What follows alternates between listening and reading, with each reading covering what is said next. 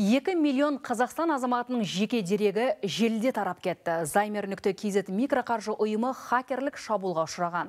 Салдарынан тұтынушылардың ақпараты телеграмдағы ашық топта жария болған. Онда азаматтардың аты жөні, телефон нөмірі мен электрондық поштасы, жеке куәлік деректері тіпті жұмысы туралы ақпарат пен банк шоттары туралы мәліметтері бар.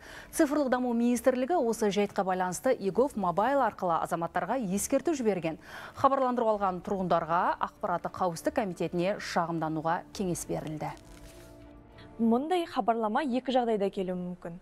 Біріншісі егер сіз сол микроқаржы ұйымының тұтынушысы болсаңыз және сіздің дербес деректеріңіздің заңсыз таралған жағдайы. Бұл сәйкесінше әкімшілік жауапкершілікке алып келеді. Екінші жағдай ол сіз ол компанияны мүлдем білмейтін сондай ақ өзіңіздің дербес деректеріңізді жинауға және өңдеуге келісіміңізді бермеген жағдайда келуі мүмкін.